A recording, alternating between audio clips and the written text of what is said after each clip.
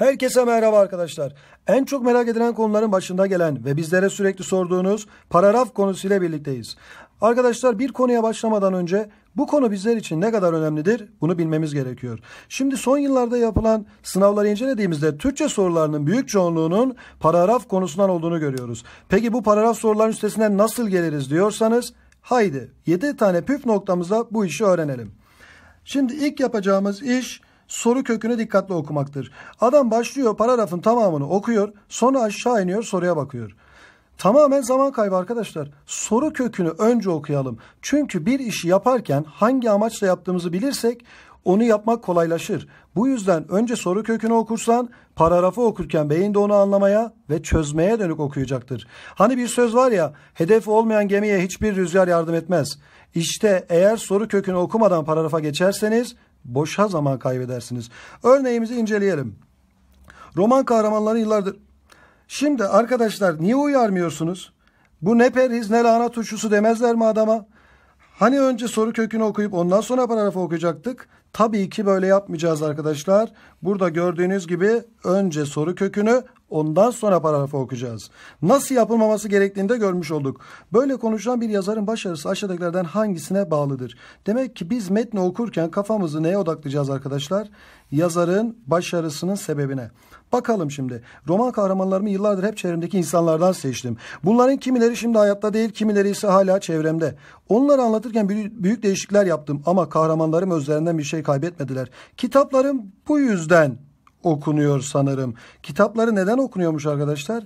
Kahramanlarım özlerinden bir şey kaybetmedikleri için. Demek ki yazarın başarısının sebebi kahramanlarının özlerinden bir şey kaybetmemeleri. Beyin buna odaklandığı için orada durduk. Bakalım kahramanların farklı özellikler eklemesi, insanların dış görünüşünü değiştirmesi, kahramanlarını gerçeğe uygun yansıtması.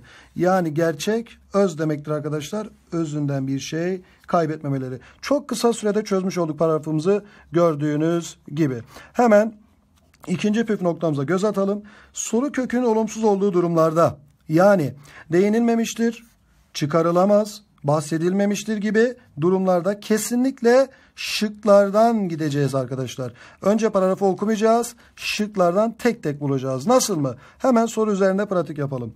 Bu metinde ters ile ilgili olarak aşağıdakilerin hangisine değinilmemiştir diyor. Bakıyoruz şıklardan gideceğiz demiştik. Yüksek yerlerde yetiştiğine ters lale bitkisi yüksek ve serin yerleri sever. Evet gördük mü arkadaşlar yüksek yerlerde. A gitti. Dinsel ve kültürel öneme sahip olduğuna okumaya devam edelim. Her dalda dört tane ters büyüdüğü, dua harikası olan çiçek ilkbaharda erken açıp bir buçuk ay içinde bitmektedir. Ana vatanı Batı Asya olan bu çiçek Güneydoğu Anadolu ile İran, Kuzey Irak ve Kaşmir'de yetişmektedir. Dinsel ve kültürel öneme de sahiptir. Evet arkadaşlar gördük mü? Demek ki dinsel ve kültürel önemde eledik. Yetiştirilmesine zahmetli olduğuna, Buraya kadar yetiştirilmesiyle ilgili bir bilgi yoktu. Devamına bakalım. Yetişme alanları sınırlıdır diyor. Yetişmesinin zahmetli olduğuna bahsetmiyor. Peki D seçeneğine geçelim. Ekonomik değerinin yüksek olduğuna. Evet gördük mü arkadaşlar? Ekonomik değerini arttırmaktadır. A'yı burada eledik. B'yi burada eledik. D seçeneğini de burada eliyoruz. Cevabımız C şıkkı arkadaşlar. Demek ki değinilmemiştir, ulaşılamaz gibi soruları şıklardan giderek bulacağız. Bu da ikinci püf noktamızdı. Şimdi geçiyoruz üçüncü püf noktamıza. Sıralama sorularında İlk iş giriş cümlesini bulmaktır. Sonra cümlelerin başı ve sonu incelenip devam ettirilir. Ne demek istiyor acaba? Yine örneğimiz üzerinde bir sıralama sorusu çözelim arkadaşlar. Gördüğünüz gibi 5 tane cümleyi düzgün bir şekilde anlamlı bir paragraf oluşturacak şekilde sıralayacağız. Ne dedik arkadaşlar püf noktamızda? Önce giriş cümlesi bulunur. Peki bakalım. Bu yüzden diye giriş cümlesi olur mu? Olmaz. O andan itibaren diye olur mu? Olmaz. Peki tıslayan bir sesle devam etmiş. Bu cisim diyor arkadaşlar. Henüz cismle bahsetti mi? Etmedi. Üçünü eledik. Dördüncü, beşinci cümlemiz ya da birinci cümlemiz giriş cümlesi olacak. Okuyalım onları da. Balinadan daha iri ve zaman zaman ışık saçan bir cisimle karşılaşır. Olabilir. 1886 yılında toplum ve gemicileri çok heyecanlandıran gizemli bir olay yaşanır. Evet gemicilerden ilk defa burada bahsetmesi gerekiyor. İlk şıkkımız bir olacak arkadaşlar. Şimdi dedik ki cümlenin sonu ile diğer cümlenin başı arasında ilişki olmalıdır. Bakalım. Gemicileri heyecanlandıran bir olay.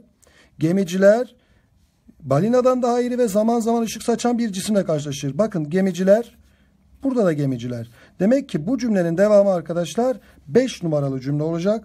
Yani şurası. Peki bu cümle neyle bitti arkadaşlar? Bir cisimle karşılaşır. Demek ki sıradaki cümlemizde cisimden bahsedebilir. Bakalım. Bu cisim. Evet gördüğünüz gibi sıradaki cümlemiz 2 olması lazım. Bu cisim sivri kısımları nedeniyle bazı gemilere zarar verir. Sivri kısımları nedeniyle. Devam edelim. Bu cisimle ilgili bir özellik daha bulmamız lazım. Bu yüzden herkes onun canavar olduğuna inanır. Hangi yüzden? Sivri kısımları nedeniyle. İşte bu da bunun devamı arkadaşlar. Yani 3 gelecek ve sebebini onu canavar demiş. Canavarla ilgili bir cümle bulmaya çalışalım. O andan itibaren nedeni bilinmeyen bütün deniz kazalarına bu canavar yol açar. İşte bu cümlenin de içerisinde canavar geçiyor. Sırayla bağlantımızı kurduğumuzda cevabımız D seçeneği oluyor arkadaşlar. Devam edelim. Kaçıncı püf noktamıza geldik? Dördüncü püf noktamıza geldik. Paragrafın konusu sorularında sıkça çıkar karşımıza. Kaynağı ve kaynağın yönünü birleştirmek gerekir. Kaynak ne demek? Kaynağın yönü ne demek? Arkadaşlar paragrafta geçen temel konuya yani üzerinde konuşulan konuya biz kaynak diyoruz. Bir de bu mesela ne olabilir kaynaklarımız? Yazalım. Dostluk bir kaynaktır arkadaşlar. Aile bir kaynaktır. Aynı şekilde çevre de bir kaynaktır. Bir de kaynağın yönü diyor. Kaynağın yönü. Kaynağın yanında mutlaka yönü verilir arkadaşlar. Mesela kaynağın yönü ne olabilir? Dostluğun yararları, aile bağları, çevre kirliliği gibi. İşte bu ikisini birleştirdiğimizde kaynak artı yönü birleştirdiğimizde ne çıkıyor arkadaşlar ortaya? Paragrafın konusu. Bakalım şu formülümüzü unutmayalım. Önce kaynağımızı buluyoruz, ardından yönünü buluyoruz ve bu paragrafımızın konusu oluyor. Yine örnek üzerinde inceleyelim. Bu paragrafın konusu hangisidir diyor. Kaynağımızı bulalım arkadaşlar. Köklü bir geçmişi olan dilimiz. Evet demek ki paragrafta dilden bahsediyor. O zaman dilimiz nedir arkadaşlar? Kaynaktır. Peki dilimizin acaba hangi özelliğinden yönünü bulalım bahsedilmiş onu bulalım. Fatihlerin ordularıyla uygarlık alışverişiyle eski yeni dünyaları kaç boy dolaşmış, kendi varlığından izler bırakmıştır. O halen Cezayir'de, Sudan'da, Macaristan'da konuşulmaktadır. Demek ki dilimiz dünyanın çeşitli yerlerinde konuşuluyor. Yani hemen hemen her yere ulaşmış bir dil. Evet ikisini birleştirelim arkadaşlar. Dilimizin her yerde konuşulması ya da geniş alanlarda konuşulması, her yerde konuşulması diyelim. Bakalım seçeneklere. Kültürümüzün diyor. Burada kültürden dilden bahsediyordu.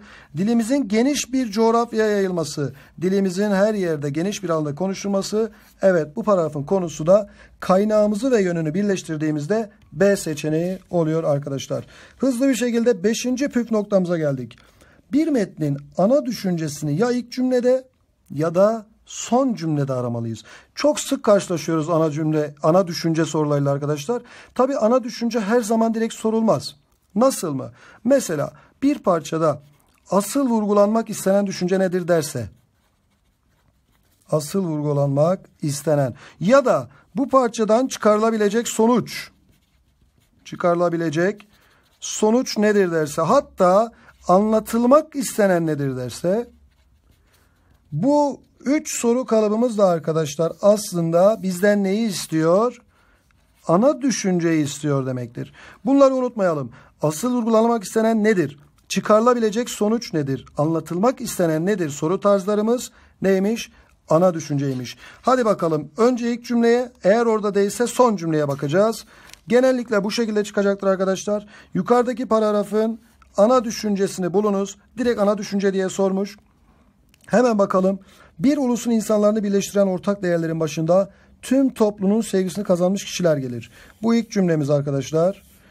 Ana düşüncemiz ya birinci cümlededir demiştik ya da büyük olasılıkla 13. yüzyılda yaşamış olsa da onun kişiliğinde bütün çağların Türk halkının yaşayışından izler var. Burada sadece Nasrettin Hoca'dan bahsetmiş son cümlemizde. Sizce hangisi ana düşünce olabilir? İyi okuyalım. Bir ulusun insanlarını birleştiren ortak değerlerin başında tüm toplumun sevgisini kazanmış kişiler gelir. O zaman biz bunu tersten gösterelim. Genelde öyle soruyorlar ana düşünceyi. Tüm toplumun sevgisini kazanmış kişiler, tüm toplumun sevgisini kazanmış kişiler nedir arkadaşlar? İnsanları birleştiren ortak değerlerdir. insanları birleştiren ortak değerlerdir.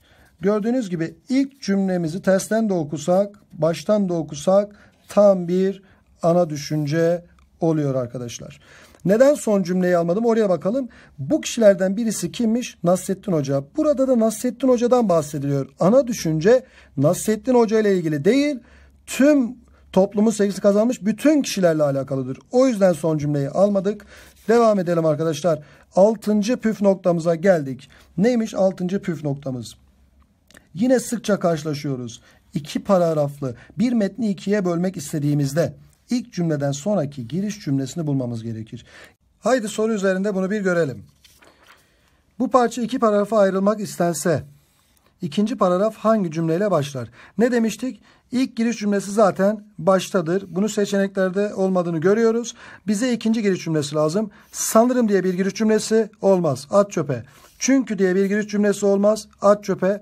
Eleştirinin tarihi içindeki yeri. Evet işte burası bir giriş cümlesi olabilir. Devamı da eleştiriyle alakalı. Demek ki burada paragrafımızı böleceğiz. Yani dördüncü cümlemiz cevabımız C seçeneği.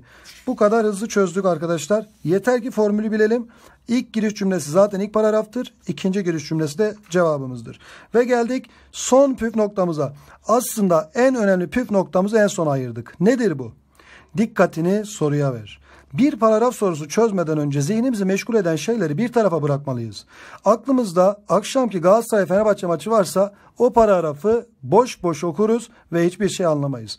Mesela size bir anımı anlatayım. Ben öğretmenlik için son sınava girdiğimde bir paragraf sorusunun ortasında babamın şu sözünü hatırladım. Oğlum istersen çok çalışırsın güzel bir meslek sahibi olursun. Ama yok çalışmazsan işte bu kazma bu da kürek. Gelir tarlada benimle çalışırsın. İşte bu cümleyi hatırlayınca aklım tarlaya gitti. Ve paragrafı defalarca okudum ama anlayamadım. Baktım olmuyor. Arkama yaslandım. Su içtim. Şeker vermişlerdi. Onu ağzıma attım. Sonra soruyu güzelce çözdüm. Evet demek ki neymiş arkadaşlar?